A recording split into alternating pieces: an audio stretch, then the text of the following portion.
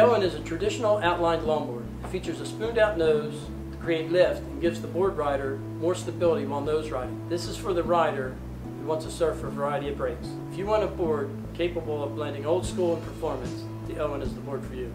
The lower entry rocker and increased tail rocker will allow for easier paddling and greater trim speed. It features a rounded pintail which allows for smoother rail-to-rail -rail transitions. The board's modern weight and 2 plus 1 fin setup makes this more of a performance longboard. It's a nice blend of tradition and performance. This is for the rider who wants to surf a variety of surf breaks.